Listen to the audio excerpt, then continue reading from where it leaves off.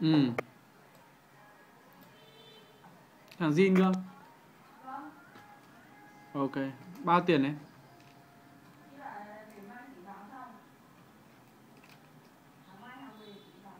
Ừ.